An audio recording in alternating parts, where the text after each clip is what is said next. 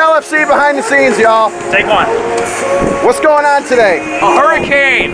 It's a freezing hurricane. Where are we at?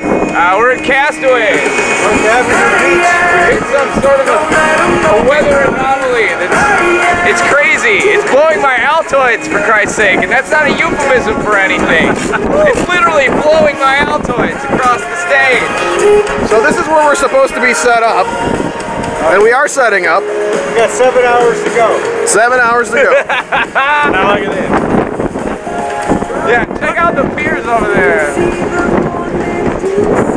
Yeah, it's, it's brutal. There's like six people on the beach. It's gonna be a fabulous day. Sand, just get the sandstorm, please. There, there are fives and fives of people to be entertained.